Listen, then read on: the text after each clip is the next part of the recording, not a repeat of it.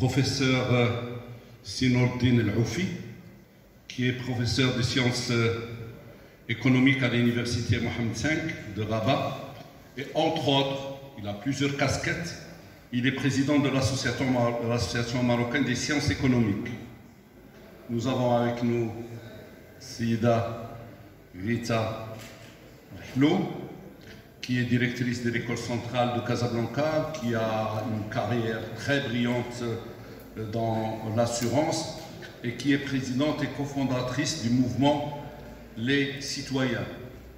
Maana Hakima Hilmish, elle va venir, elle sera là d'un moment à l'autre, qui est professeur en médecine et acteur associatif, associatif dans le domaine de la santé et membre du Conseil économique, social et environnemental.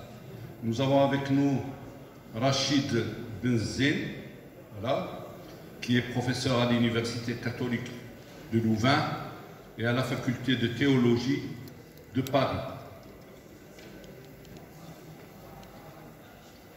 Nous avons aussi avec nous Seida Leila Ben Ali, qui est experte internationale en stratégie énergétique et durabilité, économiste en chef, directrice de la stratégie de l'économie et la durabilité à la PICOR.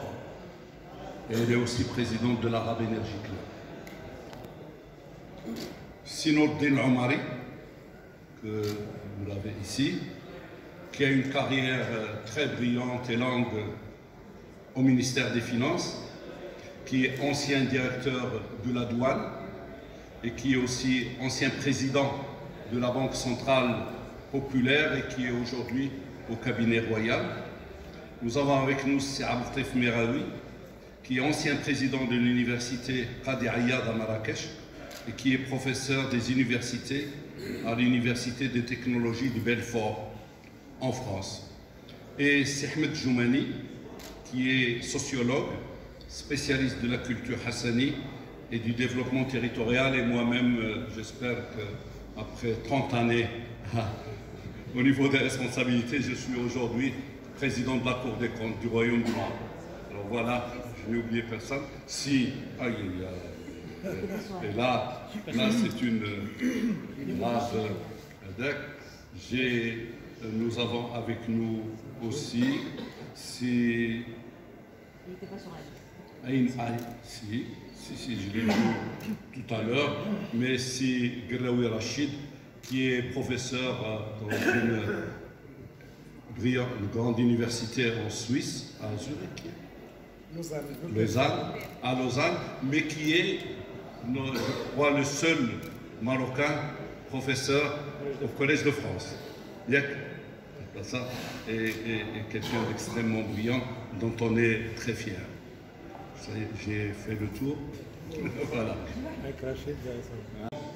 des uns et des autres et, leur faciliter la tâche parce que ce n'est pas facile d'entreprendre et surtout que l'un des grands problèmes que nous vivons dans notre pays concerne l'emploi et particulièrement l'emploi des jeunes et on zoome encore sur les jeunes diplômés et formés. Mais aujourd'hui... globale entre 24 et 30 milliards de dirhams et un IS estimé cumulé entre 6 et 10 milliards. Euh, là aussi, en termes d'impact indirect, d'ouverture d'une grande partie du territoire sur une infrastructure portuaire avec des connectivités maritimes, il faut se rendre compte qu'aujourd'hui, le port, ce n'est pas uniquement Nador, c'est un port de la région, voire même de, plusieurs régions du Maroc. Nador, il y a un sac qui est à peu près 30 minutes du port. Il y a le Husseima qui, deviendra à moins d'une heure du port. Il y a Oujda qui serait à 1h30 de port, Teza à 2 heures du port, Fès à 2h30, 2h45, et ça, c'est des choses qu'on ne pouvait pas imaginer. Imaginer que FES serait directement connecté à un port connecté au monde à 2h30 de distance.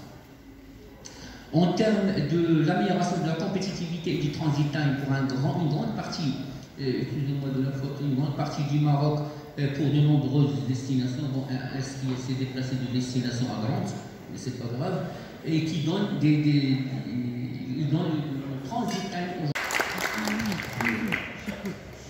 Merci, c'est Benjamin.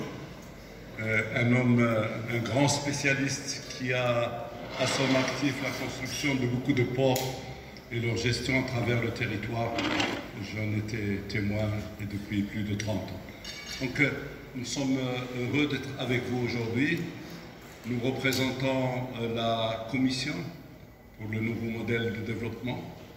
Nous sommes dans la région depuis jeudi pour écouter, pour rencontrer et pour débattre. Aujourd'hui, on s'est permis de nous répartir en trois groupes. Il y a un groupe avec le président Shakib Moussa qui est à Gerada. Euh, une autre équipe euh, sont à Berkane. Et nous-mêmes, nous sommes aujourd'hui avec vous, avec un programme extrêmement chargé parce qu'on a tenu de venir vous voir. Euh, on reviendra sûrement pour vous dire que tout l'intérêt et tout l'espoir que nous portons sur cette région. C'est une région qui a un très fort potentiel, qui est riche de ses potentialités, qui est riche de ses hommes, qui est riche de son histoire, de sa culture. Et, le nouveau port sera un élément extrêmement important pour booster la région. Nous avons en face de nous qui permettra le développement du tourisme au-delà de ce qu'on espère si on sait s'y prendre. Et à travers le port, là aussi, s'il ne reste pas uniquement un port d'éclatement pour manipuler des conteneurs, si on réussit à le retourner sur l'arrière-pays en créant des zones industrielles et on n'est pas ambitieux, si on ne mobilise que 600 hectares, alors mobiliser les 5000 entières voilà. Mais d'après ce que j'ai compris, l'essentiel du foncier n'est pas encore assaini. Essayez de l'assainir rapidement pour que vous puissiez mobiliser un maximum, parce que pour un port de cette taille,